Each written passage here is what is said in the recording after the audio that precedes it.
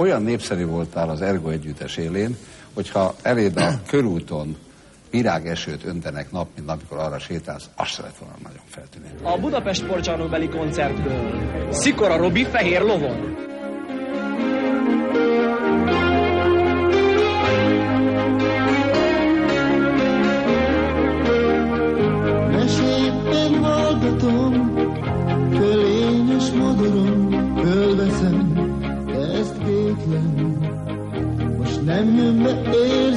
Két nagy robbanásom volt, mind a kettőben benne voltam, és az utóbbi, mit tudom én, 15 évben nem volt olyan zenekar, aki úgy indult volna, mint a Hungária, és nem volt olyan zenekar, aki úgy indult, mint az Ergo. Tehát robbanásszerűen nem olyan hosszú, megalapozott munkával aztán elér egy valamilyen sikert.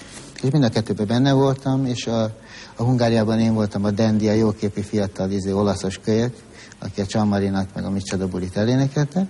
És ez egy jó alap volt arra, hogy miután aztán ki kellett léptem ugye a Hungáriából, vagy kiléptem magamból, magamtól, és akkor az Ergóban, hát láttak egy, egy olyan kölyköt, amilyen, mit tudom én, ő bárki úgy magára ismerhetett volna az utcán. Úgy, úgy gondolták, hogy ez az ő, ő kölykük, olyan, olyan robika voltam. Soha nem voltam megfésülkedve jól, szem, elég szemtelen voltam, sőt nagyon szemtelen voltam, és ez abszolút szimpatikus volt a kölyköknek. Fülöttél a sikerben? Élvezted? Hát igen, igen, csak közben olyan felelősség is volt, akkor még nem volt ilyen, hogy menedzser vagy valaki, és egy pillanat alatt rám szakadt az, hogy, hogy ezt el is lehet veszteni, és ezt fölfogtam, és mindegy kölyök azt fölfogja, hogy nagy a siker, de egy pillanatot meg lehet bukni, és közben aztán akkor még voltak ajtók, szóval ahol kopogtatni kellett, meg engedélyeket, meg izé letiltottak, meg föltiltottak, szóval az, és akkor olyan, olyan felnőtt lett az ember egy pillanat alatt, mikor bementem valahova, ott fő nem nőtt. Te ott Tud- is szemtelen voltál? Nagyon. De hát tudtam, hogy, hogy nagyon nagy erő van mögöttem, az ergo, meg az én, hogy, hogy én úgy, úgy éreztem, hogy én vagyok a világ egyik legjobb zenésze. És eddig csak most derült ki, és most hát Magyarországon ez így van, de aztán majd később kiderül a világon is. A rajongóknak ezt a hihetetlen nyomását, ezt ö, hogy tudtad kordában tartani? Volt, egy, volt és van is egy feleségem, akivel 22 éves házasok vagyunk, és ha ő nem lett volna, ő volt az a mérleg, a, amitől aztán, és, és, a, és a házasságunk, ami nagyon jó, jó és stabil volt, amit aztán talpon tudtam maradni, mert tényleg igen nehezen lehetett volna normális embernek maradni, mert... 22 éves házas vagy? Igen.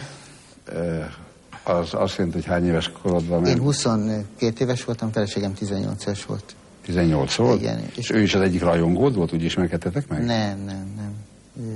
Itt az utcán, elég közel laktunk egymáshoz, és fociztunk az utcán, ő mint lány, és nekem annyira inspirálta engem, hogy fiatal lány, mész, hogy focizik velünk. Úgyhogy, Uh-huh. na jó, mindegy, és, és ő, ő megtanult ezt, hogy, hogy milyen velem élni, együtt élni velem, és akkor, ahol laktunk, mi egy társasházban laktunk, és a negyedik emeleten, ott minden lépcső, lépcsőfogon ültek a lányok, mikor ő jött haza az óvodából, óvónő volt, és már nem zavarta. De hát az úgy nagyon nehéz volt. Szóval 87-ben úgy, hogy a, hogy a lányok hallgatóztak ott a, ott a ott folyósokon, ott írták a leckét, ott kajáltak, ott éltek, ahol én. Egyik bejött, és azt mondta, leihületek, mert olyan rosszul vagyok, vagy valamit. Mondom, gyere, ülj le. És közben írtam az autogramot.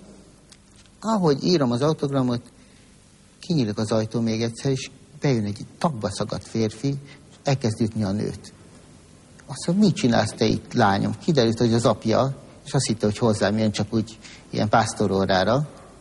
És utána még agyba főbevert az én lakásomba a nőt, úgy a lány felén fordult, és jött felém. Mondom, Robikám, akkor most itt matematika lesz. De aztán nem, nem ütött meg, azt jól tette. Miért te vissza tudtad volna ütni? Biztos, hogy persze, abszolút Hát megvertem volna. srác vagy, az William. Jó, de ez. És akkor még biztos, hogy megvertem volna, most már nem verekszem. Te verekedős voltál? Gyerekkoromban, meg később, igen. Nagyon jó vagyok, nagyon jó voltam technikailag, és nem is az a lényeg, hanem, hanem hogy nem féltem. Tudod, van egy olyan, hogyha nem félsz, akkor mindegy, hogy milyen erős a másik.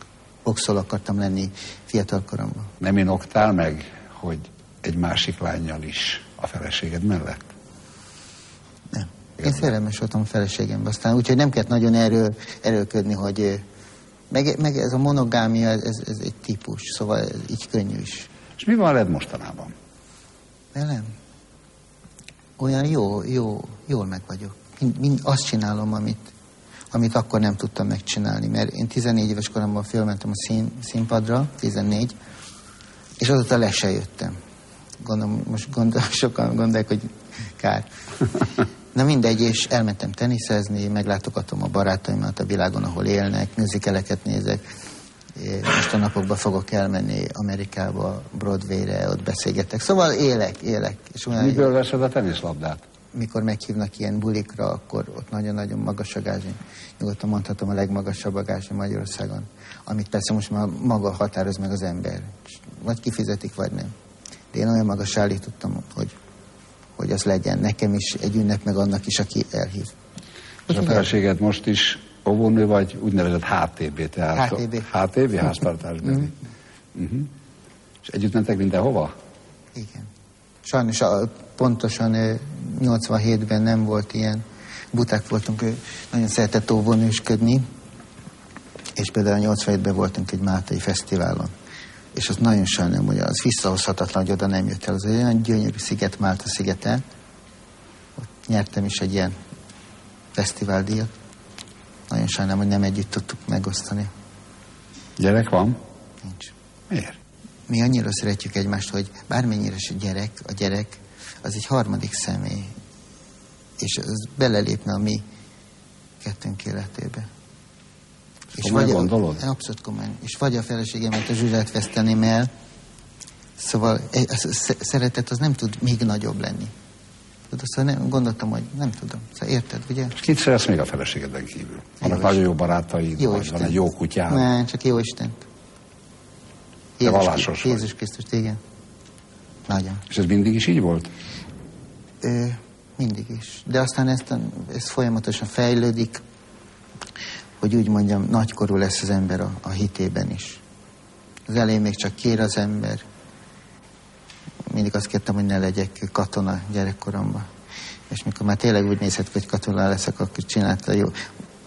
Azt mondtam, hogy uram, most már nem tudsz, most, most te jössz, mert én már, én már még mindig kéne mennem. És akkor azt mondta, jó, bízd rám. És akkor nem lettem. És ez így tovább. És én pedig őt nagyon szeretem, mert jó. Jó. Hogy ott, hogy